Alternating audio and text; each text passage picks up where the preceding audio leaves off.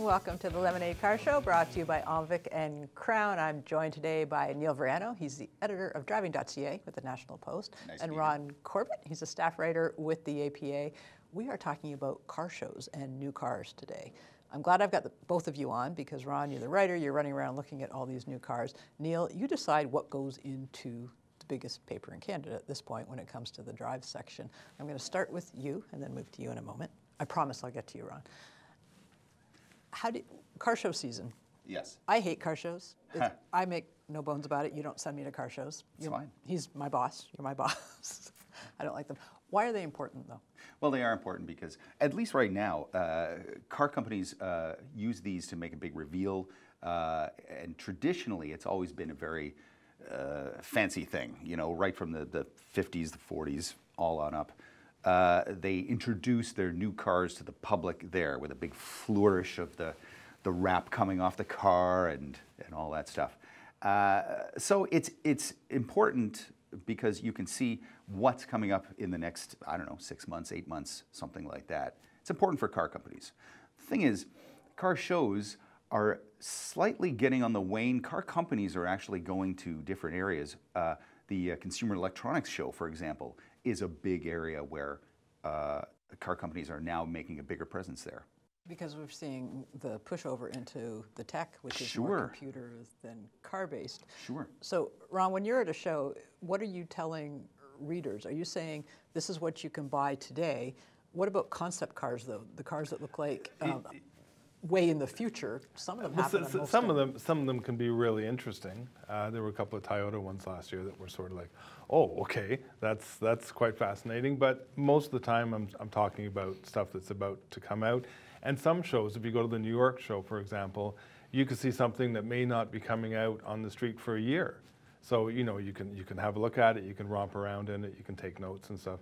So. Um, So there's a practical side, which Yeah, is I'm going to buy a Camry this spring, and I- there's the dreamer side, which is maybe this is what's coming. Well, out. and, and there's something like, oh, okay, well, you know, the, the, the new Malibu is coming out um, 18 months from now, but they've sh- already shown it, and we can give you some impressions on it.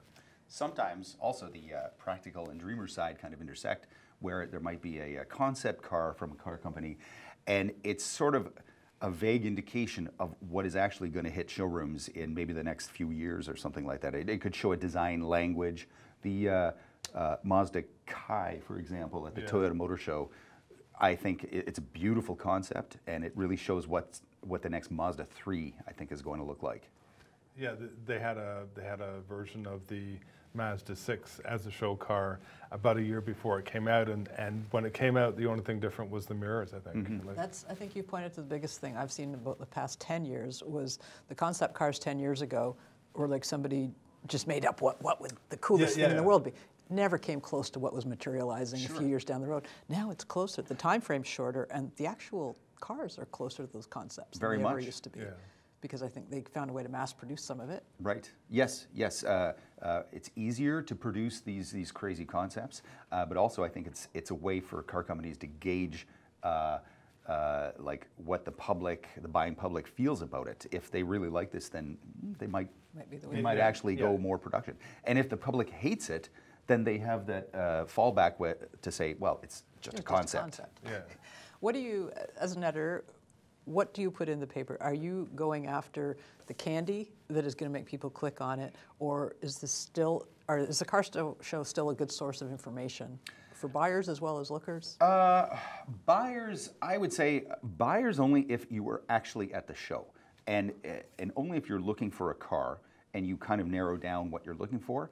A car show for the public is a way for you to sit in a car. You've got this Mazda here, sit in the car. You've got this Honda over here, sit in the car. so you can feel it. and you can feel it, look at it in front of you, and stuff like that. And you can all do that in a few hours instead of driving all over town. Uh, um, as far as uh, uh, information is, uh, goes, uh, yeah, it, it kind of shows what the future is. It's more what the future is bringing. Production cars, uh, if they are revealed at a car show, um, invariably they'll be coming a few months down the road at the very least. So this is your first hit at the information. You go back, you can write this up so we can look at them Yeah. and then read about them, and that's where the It's a very happens. brief first look without Yeah. driving it, without having other information about it. It's it's like, here it is, builds some anticipa- anticipation, I suppose. Okay. We're going to be back in a minute. We'll be talking about what has been unveiled so far at the car shows this season. It's Lemon-Aid Car Show. We'll be back after this message.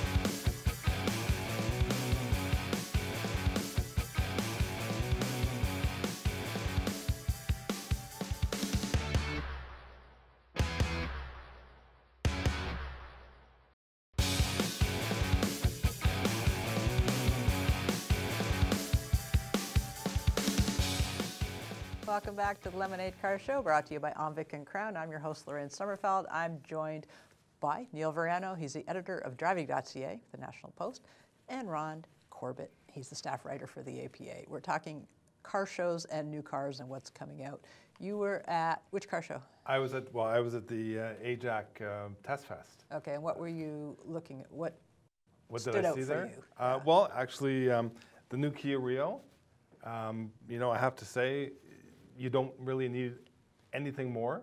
It's you know, it's quick, it's quiet, it's it's roomy, it's comfortable, um, and you know, for the money, uh, unless you need more space, you don't need to buy a car that's more expensive. I, I think it's exactly what you say. For the money, that is an amazing car. Yeah.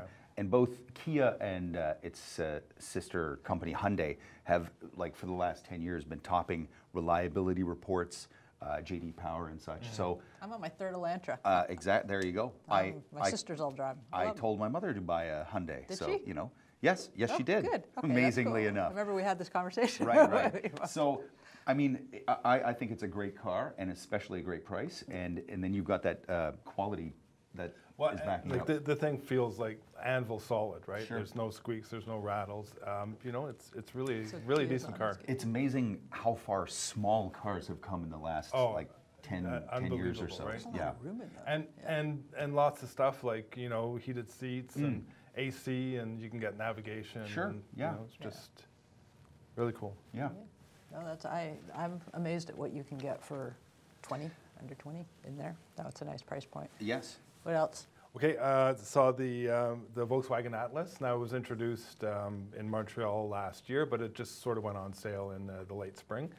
Um, styling is personal, of course. I, I think it looks really homely, and and the the interior is kind of dull, and and finish isn't that great, but really roomy, really comfortable, and on the road, it's it's really great. Fantastic dynamics, great ride. What's Atlas going up against? What's Volkswagen? Uh, well, it would be uh, Highlander, uh, Pilot, Explorer, that that You know- uh, three row. And you, you talk about the style, and you think about all of those vehicles, and they all generically look the same, Oh. really. And and I don't know how you can get away from that in in a large SUV format, even a small SUV format. That's But all cars look the same. Once they got rid of a Gremlin, it was all downhill.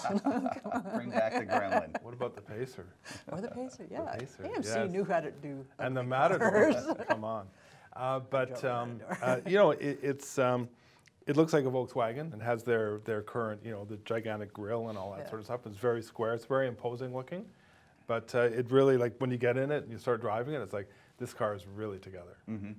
It's And it, it's a brand new segment for Volkswagen uh, Well, right now. yeah, they, they, they've like e- everyone else has been in there for years, and, and Yes. They've just been letting sales just go, and, Well, and- and it's really great to see them say, okay, you know, we need to be in this market, and And SUVs especially. Porsche, Maserati. Yeah. I mean, Well, yeah, yeah. going after the SUVs? Right. It's uh, Jaguar. Everyone wants Well, the money. they make the money. I mean, uh, as long as profits, gas is free. Until gas. of course. is but you know, properly you get into the the cars that Neil was mentioning, and the people who buy them, well, they're going to have an expense account, or they're going to have a company gas card, Hmm. or whatever. So that doesn't really matter. And in this market, it's a bit different for sure. We're such good environmentalists, aren't we? Hmm. We just Fantastic, don't care. yes. Yes. Yeah, We all say one thing and then we do another. it's true.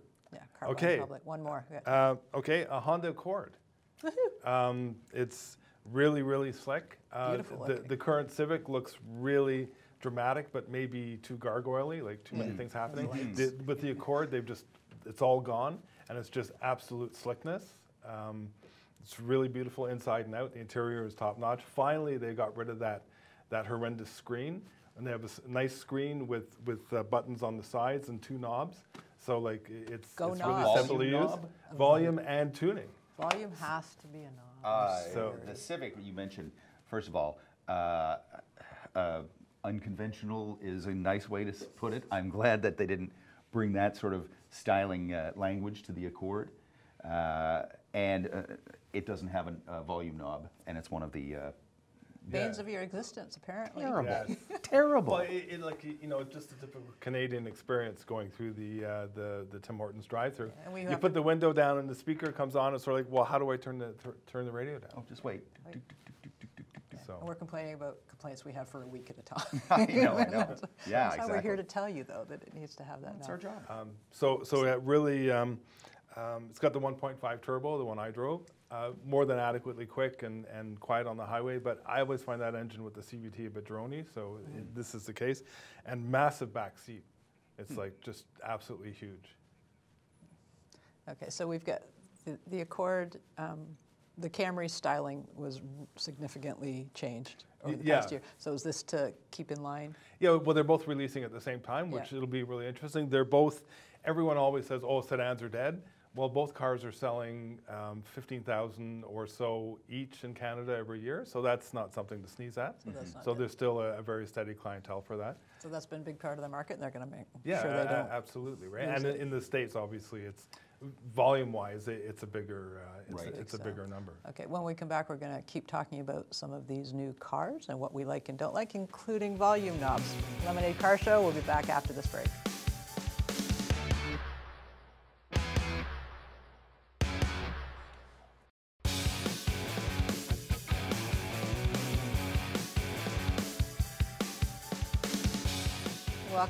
Lemon-Aid Car Show, brought to you by OMVIC and Krown. I'm speaking with Neil Vorano, the editor of Driving.ca, which is National Post, and Ron Corbett, staff writer for the APA. We're talking about car shows and new cars, and we're having fun. What are we going to talk about? Trash or praise next? Oh, well, we could talk about the new Camry, since we just mentioned it in the uh, Oh, and I brought it up and blew that. Sorry. Ah, Okay. yes. Yeah. Uh, well, it, it, as you said, it's much more adventurous looking outside than before. So it, it looks, um, it still looks conservative, but it looks like you know sporty conservative. Um, the interior is really wild. It's like really quite uh, quite expressive, like really you know weird angles and, and strange you know strange uh, joinings of things and whatever. But uh, nice materials. Um, you know, really great seats. Um, the back seat is actually not as roomy as the Accord. The Accord sort of, you know, just uh, totally, totally blows out of the water.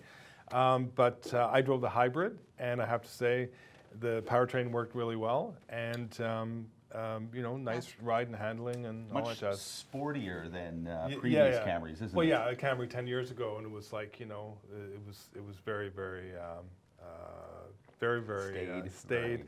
and, and very soft, right? Toyota and Honda invented incremental change. Uh, yes, exactly.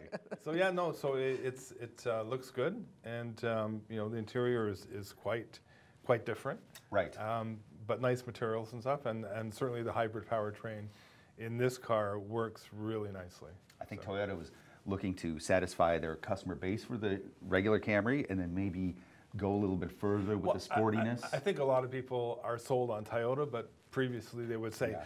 "Oh yeah, okay, well you know if I want to buy a '95 Buick Regal, I'll buy one."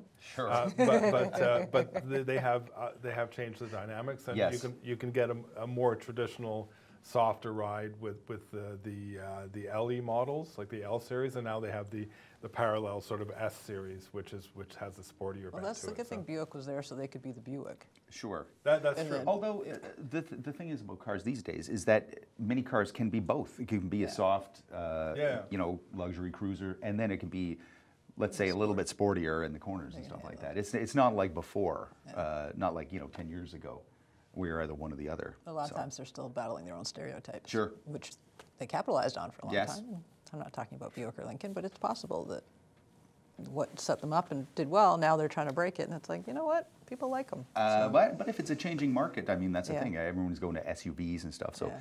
maybe they feel like they need to have to draw in more people just to combat that market. But it, in a lot of ways, we've kind of gone too far into the sportiness mode, Yeah. and people are complaining, especially if you live in an urban area with crappy pavement. Like, Yeah. you know, you, you want a bit It's of little comfort. tight, Mm-hmm. yeah. Okay, so yeah. uh, Alfa Romeo Giulia. I've been hearing so much about this, and none of it has been very good, frankly.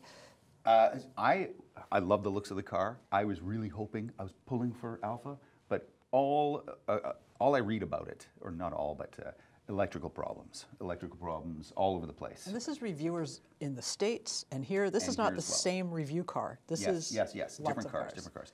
I used to own an Alfa Romeo, a 2002 uh, Spider, and uh, it had ongoing electrical issues. Imagine that, where I would press on the brake and the radio would go off, and the uh, fuel filler door would pop open. Sorry. what? Is, how does that Only happen? on certain stations or just I, universally? oh, I didn't check that. I didn't check. But I mean, those kind of things are ridiculous. But they're fame, or they're what Italian cars are famous for. That kind of thing. So they need to sort that stuff out. When you were for sure. driving, was there any, any of the problems we're hearing in No, your was, quick it drive? Was, it was a, a faultless 40 minutes. okay. So, but uh, and and driving, well, you know, I have to say it was just just like the ultimate dynamic experience, right? If you rolled over a loonie uh, on the street, you could probably tell what year it was. Mm-hmm. The steering was really sensitive. It's really cat-like. It's just uh, amazing. And when you put it in, like they have a sport mode, and it's just sort of like, just uh, like eh, you don't even have to do it. You just think it, and the car's doing it. It's really really good. But um, the engine, to me, when it's idling, it sounds like a diesel. And, and until you reach a certain point, um, the, the sound, the, the, the sound is, is not what I, I was hoping for. So usually we tell people, make sure you test drive. A lot of people don't test drive anymore. They just buy Mm-hmm. cars, especially iconic cars that they want it. And this is a case where I'm going to say, read a bunch of reviews, Uh, not just yes. one or 2 because you, you can't have stick reviewers who just get a bum car, they don't like it or something. But I'm unfortunately, like you said, we're all waiting for this to be like, awesome. Uh, And yes. Now love- yeah. reviews are stacking up. They're, having problems. The reviewers are having issues. So even if you drive it like Ron did for 40 minutes and love it, please be careful. Please read other reviews and please keep an eye on it and really look at extended warranties and things like Well, that. and, if and you're if gonna you go want into one, I, I would just I would just say lease it. it, lease it.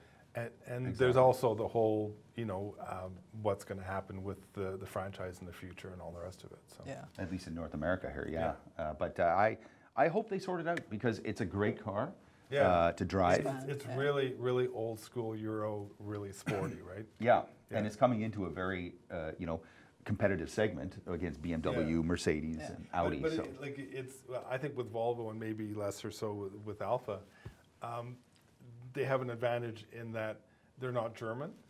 Like, like Yes. there, there's, but you go anywhere and, and it's like three series or like knee deep in parking lots and, and C class and whatever.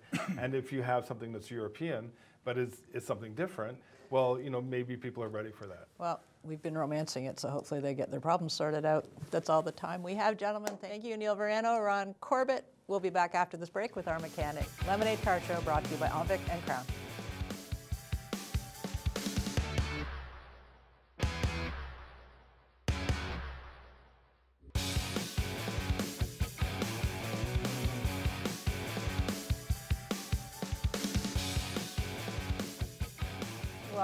To the Lemon-Aid Car Show. I'm your host, Lorraine Sommerfeld. I'm joined now by George Iny, the president of the APA, and our mechanic on schedule, Brian Early. How are you, Brian? Nice to have you back Fine, again. Thank you.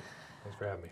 This show's been about new cars, and a lot of times when you buy a new car, you think, haha, I'm done with the service thing right, forever. We like to think forever. Well, it's often a, a big motivator why you got out of your old car because of the unpredictability of the repairs. So Okay. you have something new and you figure oil changes and you're done. So, having said that, what should you be looking for? Now that you have a new car, what's the best way to keep it in pristine shape? Well, you know, the manufacturer knows the car best. They do have a maintenance schedule in the owner's manual somewhere. Best to uh, give that a good glance. And in a lot of cases, there will be two schedules. Will be what they call normal and severe. And if you look really closely at the severe stuff, it's typically stuff that you encounter in Canada, like uh, varied temperatures, lots of idling, rough road conditions, any of that kind of stuff. So We're severe. we're, we're pretty much severe by default. So, it's safe, I think it's smart to presume that that is the schedule you should be following. Ideally. So, and the way it works is uh, you have minor and more major. So the minor is every six months. The major could be annual. It could be sometimes only after two years. So your first services are not expensive. It's worth keeping the records because that helps you when you have to sell the car. Also, if you're being upsold something because you didn't realize the person at the counter is getting a commission for selling you service, uh, you can always go back and check and see what you have done before. So m- maybe you don't need that oil treatment Yeah, or fuel injector flush. Big distinction every between year. recommended and required. Okay, well, and I'm going to ask you both this because you know what. I, we- I tell people, owner's manual tells you what the manufacturer requires for that vehicle that they have warranted. It's not, al- and it's also, to be fair, if you're not slightly technical or cars actually don't interest you, which I think is fair, um, some of the manuals are not easy to follow. First of all, it's in a different book, it's in a section in the back. It's not really designed to be uh, that user-friendly. But so many dealers, they have their own proposed schedules that don't match anything in any of That's those books. That's easy to use because there's a big poster, there's checkoffs. uh, I, I have seen it where they actually put a supplemental little book in with the owner's manual for recommended services. And one that you can even get stamped, for example. yeah, That's the more marks. helpful way. Because I feel there, a- a lot of times for consumers or people who maybe aren't into cars, you get guilty. You're thinking, if I don't do this, I'm going to void my warranty. If I don't replace those Well, wiper this is the blades. question you need to ask the service advisor. You need to be frank with them and There's just ask them, is this something that is required or is something you just recommend? And a lot of times the recommended service will, will be well short of the manufacturer's interval. You know, spark plugs that half their lifetime, that kind of thing. And Or worse, we saw in our own, you know, um, our undercover work, we would get like, what are the Toyota plugs that are good for now? Oh, a lot of the stuff now is 200K, 160, 150K? Yeah, 196,000. and they would replace them with a lower quality spark plug that you would have to take out sooner. Because I think they're iridium coated or something, the Toyota. Anyway, Yeah. it was an example. We happened to use a Toyota, we got back plugs that were worse and we- long run would need to come out sooner than the plugs that were in the car. And this- there's also commissions game. being, this is a big commission industry. There's also commissions being paid Yes. at, at a lot of points sadly, of sell. you- Yeah, well, it the- is sadly. I mean, most people expect that a car person selling the vehicle is on commission. Yeah. They don't realize the person at the counter in the service department in a larger shop, particularly dealership, is also on commission. Well, George, you'd have a better idea of this too. The, the margins, the profit margins on new cars aren't what they were once upon a time. So let's let's face it, the service department is actually making money for the dealership. And- you know, and they're pushing- Required to, They're, they're pushing very hard to, to encourage people to bring their vehicles back to the dealership, especially after the warranty expires. Right. So, and the other thing, Lorraine, on the other side is while they're upselling you on junk, like miracle fluids and stuff, important service that, you know, we were talking about um, isn't done. Like your rear brakes, the calipers may need to Yep. be. Yeah, there's, there's leg- uh, legitimacy to doing things like brake services, maybe not, you know, every We're 10,000 K. sh- sh- but Yeah. actually, But actually, you, it's basically a brake job with no parts. Take it apart, clean all the gunge that builds up in them out, lubricate it all, put No it back together service. again. and your Brake rear service. brakes will go over 100,000 K possibly with Yeah, that, or depending on the- 80,000. Depending on the vehicle, certainly. Yeah. It, it will extend the life regardless. I mean, once the brakes start to bind up in there, they don't release properly, they don't apply properly, and it, it shortens the life. Another service uh, that we see is often forgotten, the cabin air filter. Yes. Yes. Well, isn't it true? Some of them are easy to replace. Ch- ch- Some of them, Doesn't matter, half the dash has to come off. But to- it's overlooked. yeah. That's the, We, we having, also having had, changed it on a bunch of Nissan vehicles where it's parallel to the firewall and you have to jam yourself in a footwell, it's not something you'd really want to have to do a lot of, but yeah, it's, it's still in there. And my it's sister had a vehicle, they charged her three times for carbon filters and it's on her bills because she keeps them all. And then when it was finally done, it had never been done. An APA mechanic did it and showed her the filter and said, this is the original one that came with the car. They'd never done it. And she had all her papers that said it had been done over and over Nice. that's a bit nasty. It was not very nice. Yeah. You can ask for the old parts back. Mm-hmm. It's reasonable, but I would tell you most customers who do don't know what to they're make of it. looking at. Right. It look, just looks say, hmm, looks complicated in that bag, but you could ask for it. Well, that's why I find a mechanic you trust and deal with them for all the stuff, maintenance as well as, you know, fixing big things. I'm a big fan of maintenance. It's a lot cheaper What do you than use to find a mechanic? Like a metal detector mm. or? I use the APA, Yeah, but you can't find mechanics. In most larger business, you're not even allowed to talk to that person. My You're- mechanic, you can call me, I'll, I'll tell you the name of a good mechanic. I'm in Burlington. I'll tell people great That's good. mechanics in Burlington. But you know, in a dealership or in a larger shop with you know nine or ten garage doors, the people managing it There's do not want you uh, interfering with valuable time of the, the one the goose that lays the golden egg in the shop. Everybody else is a cost. Yeah. The mechanic is actually bringing money in. Yeah, there's, truth, there's truth to that. yeah. Thank you both. That's all the time we have for the Lemon-Aid Car Show. I'd like to thank George Iny and Brian Early and you viewers.